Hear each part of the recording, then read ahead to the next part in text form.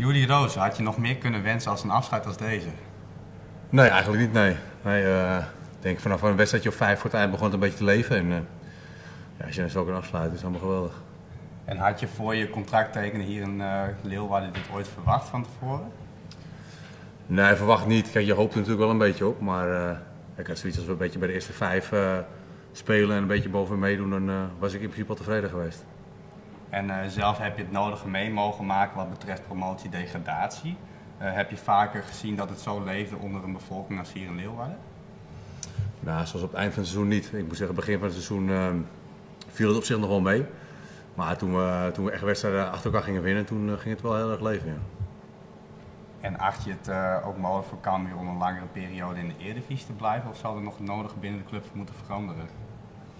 Nou, als je structureel in de Eredivisie wil spelen, moet er wel wat veranderen, denk ik. Maar uh, ja, dus dan gaat sowieso nog een ploeg promoveren. Dus ik denk dat er volgend jaar zeker mogelijkheden liggen. En waar denk jij dan dat vooral hetgene in zou moeten veranderen? Nou, gewoon in de gehele organisatie denk ik. Ik denk dat je dat de, hele, de hele club uh, stappen moet maken. Dus uh, ja, gewoon op directieniveau en ja, allemaal kleine dingetjes die geregeld moeten worden rondom het eerste elftal.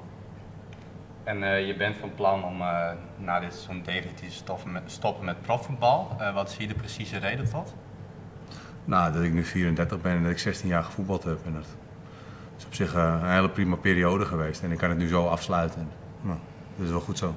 Ja, een beter afscheid had je in die zin niet kunnen wensen.